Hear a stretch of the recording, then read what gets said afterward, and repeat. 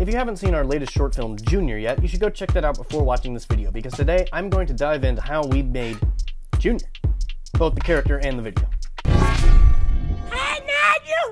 So, in a dramatic turn of events, it turns out that we did not, in fact, model and hand animate Junior, the character. I know, shocker. But you know, we told you all in the in the, in the title even of the video. We told we told you the whole thing. Junior was animated and made with Mixamo, which is a great website. So, how do you use these awesome, free-to-use assets, these characters and these wonderful animations? All you need is access to and a basic knowledge of After Effects, Blender, Video Copilot's Element 3D, and Mixamo. This is one of those effects that's like both really complicated and really simple. And so I'm gonna kind of dive into it with you guys. A lot of the work is done for me already. And so you're gonna see that. And that's kind of the beauty of this. So first off, you're gonna log into Mixamo and then you've got tons of characters to choose from, free models that they're giving you, and they're already rigged to all of these different animations that Mixamo has recorded for you. So really all it is is going through, picking the character that you want and picking the animations that you need this character to be doing. In this case, we're looking for a lot of very specific movements, particularly ones that are gonna match what we have our actor, Gunner, voicing for the character of Junior. The actions kind of have to match what he's what he's saying. No, I don't. Okay, yes, his mouth isn't moving, but we're we're moving past that. We're moving past that. Once you've got the character and the animation that you're looking for, go up to the top right hand corner and click Download. In the download settings, change the format to Collada or Collada or Cal, uh, I don't know how you say it, but it's it's it's that one. So long as your frames per second is accurate and everything looks good to you, go ahead and click download. This is going to download the character attached to the animation into a zip folder. So extract that and save it to wherever you want. Now that you've got your character downloaded, first you have to convert it into an OBJ because I'm going to be using Video Copilot's Element 3D like I already mentioned, which as far as I know only takes OBJ. So this makes it pretty simple. So this is going to be the conversion process. We're using Blender only for the conversion process, not for actually animating, rendering, or compositing. I believe there are ways to do the compositing and rendering in Blender, but that's not what I did because I have access to Element 3D and it just made it a whole lot easier to do it all within After Effects. So in Blender, we're going to delete the cube and then go over to import and look for the collada, collada. Uh, import the .dae file, then go down to the timeline at the bottom of the screen and you're going to change the end keyframe to whatever your end keyframe is. Then you're going to go over to export. We're then going to go click File, Export, and export it as a wavefront or an OBJ. Select where you want to save the product to, and make sure you check Animation over in the corner here.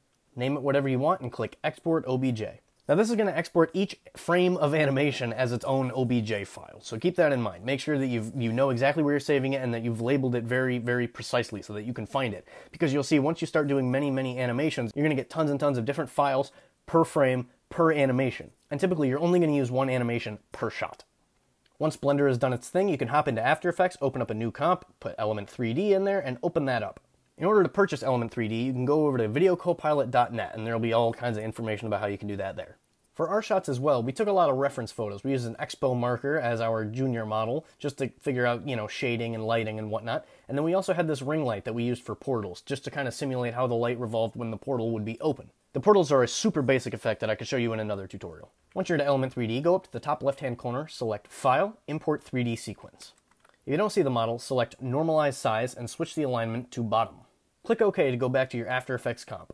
Use the World Transform tools to change the perspective of your model. Now comes the fun part, the compositing. Compositing is basically matching your 3D elements or your visual effects elements in with the actual footage. So you want to make sure that the lighting and the shadows and the shading, everything, it all matches. It has to match the scene around it or it's not going to look that great. So first the shadows. Go into the scene setup, click create, add a plane, scale it up, and then you're going to add this preset here, matte shadow. This means that this plane layer is going to be completely invisible except for shadows cast onto it. Be sure to go down to your render settings and turn on shadows and ambient occlusion. Next, go click Layer and New Light.